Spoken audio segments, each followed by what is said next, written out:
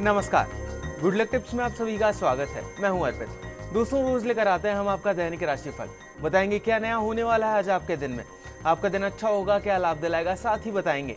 आपकी परेशानियों से बचने के कुछ आसान से टिप्स आपके अपने कार्यक्रम गुड लक टिप्स में।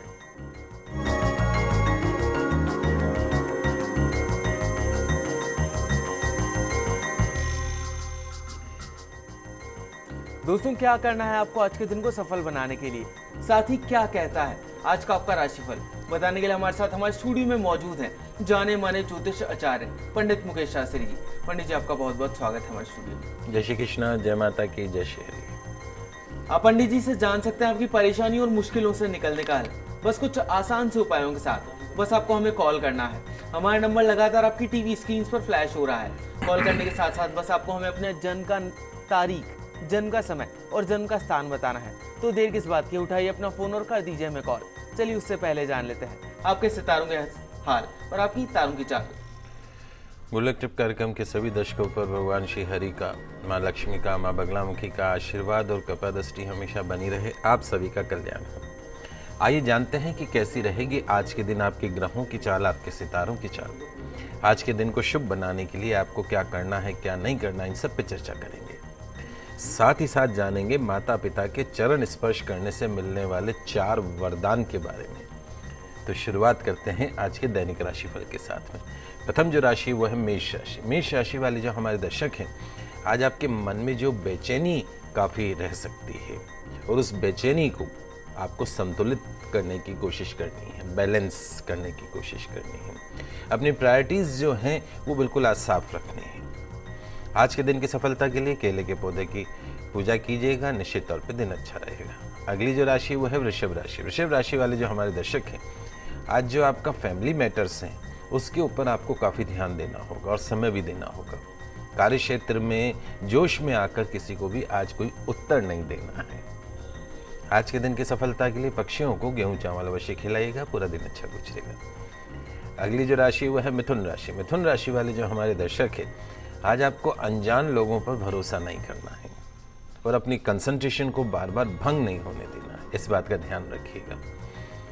आज के दिन की सफलता के लिए बैल को पालक अवश्य खिलाइएगा पूरा दिन बेहतरीन रूप से गुजरेगा। पंडित जी आगे की राशियों की तरफ़ बढ़ने से पहले हम एक मेल ले लेते हैं। हमारे पास मेल आया था दिव्या जी का। इनकी जन्म की तारीख है सत्रह सात उन्नीस सौ बानवे।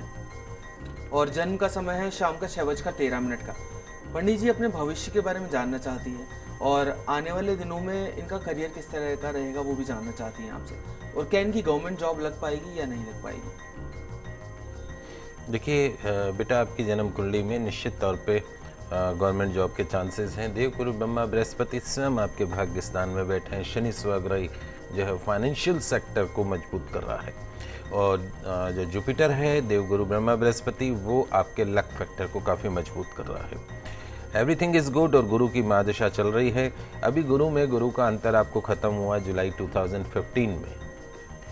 अब आगे 2018 जनवरी तक का आपका एक बेहतरीन समय स्टार्ट हुआ है, अगर आप अभी कोशिश करती हैं गवर्नमेंट जॉब के लिए तो निश्चित तौर पे 2016 2017 is very good as per career aspect और जो आपको विशेष रूप से सावधानी रखनी है वो ये रखनी है कि नियमित रूप से एक तो भगवान सूर्य की आराधना आपको अवश्य करनी चाहिए, क्योंकि सूर्य आपकी जन्म कुंडली में आपका भाग्येश है। उसके साथ में यदि आप चाहते हैं कि आपको सरकारी नौकरी प्राप्त हो तो नियम मान लीजिए, बुधवार के बुधवार के दिन गणेश जी महाराज के दर्शन करने हैं, उसके साथ साथ में गौ सेवा बुधवार के दिन अवश्य आपको करनी चाहिए तो सरल से उपाय कीजिएगा। पंडित जी के लिए एक दर्शक भी हमारे साथ जुड़ गए हैं, जयपुर से रवि जी हैं। इनकी जन्म की तारीख है पाँच सात उन्नीस सौ इक्यानवे। और जन्म का समय है शाम का चार बजकर अड़तीस मिनट का। रवि जी आपका बहुत बहुत स्वागत है हमारे शो में। पूछिए आप क्या पूछना चाहते हैं पंडित जी से? हेलो नमस्ते पंडित जी। जय श्री कृष्णा बेटा। हाँ।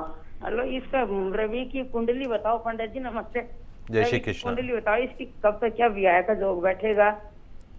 अरे कुछ काम धंधा भी ऐसे ही कुछ करता नहीं कभी करता है कभी छोड़ देता है। देखिए रवि आपकी जन्म कुंडली में सबसे पहली चीज़ तो यह है कि आपका रेवती नक्षत्र का जन्म है। रेवती नक्षत्र जो है, वो गणमूल नक्षत्र में आता है। पैदा होते ही 27 दिन में इसकी पूजा होनी चाहिए। शनि डाकोत का दान होता है, हवन यज्ञ का प्रोग्राम होता है।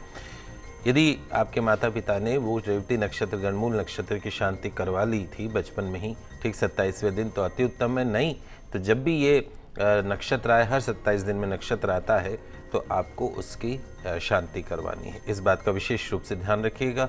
शुक्र की महादशा राहु का अंतर आपको चल रहा है। जनवरी 2014 से 14 से, और ये ख़त्म होगा जनवरी 2017 को। Rahu, it's create unwanted hurdles. बगैर बात की समस्याएँ खड़ी करने का काम राहु करता है। हर चीज़ में रुकावटें। कोई भी काम स्ट्रेट फॉरवर्ड नहीं होता, होना। ये राहु का काम है। ये राहु आपकी जन्म कुंडली में चलेगा जनवरी 2017 तक। उसके पश्चात आपके जीवन का एक बेहतरीन समय शुरू होगा, लेकिन वो होगा 2017 ऑनवर्ड से। आपकी जन्म कुंडली में गुरु उच्च का होकर बैठा है, भाग्यस्थान में luck factor is very good Shani स्वग्रही है आपकी जन्म कुंडली में, अगर आप अपना स्वयं का काम करते हैं तो भी आपको बहुत अच्छा फल मिल सकता है।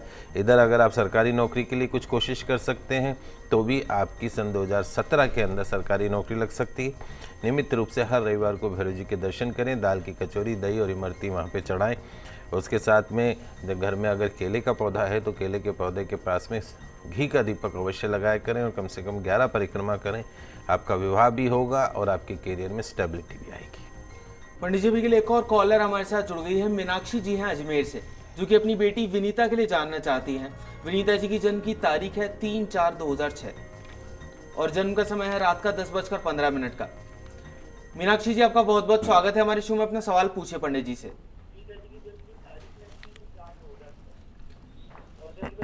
मीनाक्षी जी, अपने टीवी की वॉल्यूम जरा कम कर लीजिए, फिर अपना सवाल पूछिए।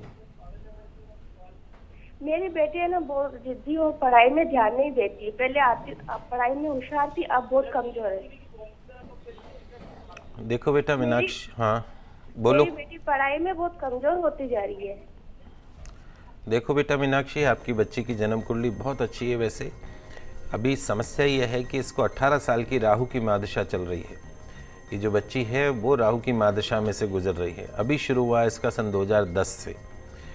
और राहु इसके एजुकेशन हाउस में बैठा है पढ़ाई के घर में। तो राहु सांप जैसे चलता है, टेढ़ा चलता है तो कहीं ना कहीं एजुकेशन सेक्टर में फ्लक्चुएशन कर सकता है, उतार चढ़ाव कर सकता है। तो एक तो आप गोमेद रत्न आता है सवा पाँच रत्ती का, उसका चांदी में पेंडेंट बना के रविवार के दिन इस बच्ची की गले के अंदर डाल दीजिए काले धागे में। और साथ साथ में इसको बोलिए कि बिस्तर में बैठ के पढ़ाई नहीं करेगी, टेबल कुर्सी पे बैठ के इसको पढ़ाई करना है, पूरब या उत्तर दिशा की तरफ़ मुख करते हुए। और आ, संभव हो तो आप कोशिश करिए क्योंकि इस बच्ची की जन्म कुंडली में पितृदोष बन रहा है वो भी एजुकेशन हाउस से। तो आपको अपने पितरों की शांति के लिए अभी सात पक्ष चल चल रहे हैं। इस बच्चे के फादर को बोलिए कि पंडित को बुला के एक बार तर्पण कर अवश्य करवा दें अपने पितरों के नाम का। आप शाद कम अवश्य करिए और जब पानी का मटका भर के रखते हैं वहाँ पे शुद्ध देशी घी का दीपक दीपक अवश्य जलाएँ। बाकी इसकी जन्म कुंडली बहुत अच्छी है, सरकारी नौकरी प्राप्त होगी। जीवन में बहुत बड़ी सफलताएँ बच्ची प्राप्त हो करेगी। सिर्फ़ राहु का चक्कर है तो वो अभी थोड़ा सा निकल जाने दीजिए। पंडित जी के लिए आरती जी भी जुड़ है हमारे साथ भरतपुर से। उनकी जन्म की तारीख है सात दस उन्नीस और जन्म का समय है शाम का पाँच बजे का। आरती जी, आपका बहुत बहुत स्वागत है। हमारे शो में अपना सवाल पूछे पंडित जी से। आरती जी अपना सवाल पूछे पंडित जी से। तो लगता है पंडित जी उनका संपर्क हमसे कट गया है। वो अपने करियर के बारे में जानना चाहती थी और जानना चाहती थी कि उनकी गवर्नमेंट जॉब लगेगी या नहीं लगेगी। देखो बेटा, आरती आपकी जन्म कुंडली में चंद्र मंगल योग बना हुआ है। चंद्र मंगल योग बड़ा ही शुभ योग माना जाता है चतुर्थ भाव में। और आपके नौकरी घर का जो स्वामी है, वो है मंगल। मंगल आपकी जन्म कुंडली में चंद्र के साथ में बहुत ही शुभ योग बना रहा है। सूर्य बुद्ध बुद्ध आदित्य योग आपकी जन्म कुंडली में है। देवगुरु ब्रह्मा बृहस्पति उच्च के होकर आपकी जन्म कुंडली में बैठे your horoscope is very perfect दो समस्या हैं। पहली समस्या यह है कि 18 साल की राहु की मादशा आपको चल रही है। राहु का काम ही जब तक आप 200 परसेंट नहीं दोगे, तब तक आपको 100 परसेंट नहीं मिलेगा। तो you have to put extra efforts थोड़े से आपको प्रयास ज़्यादा करने की ज़रूरत है।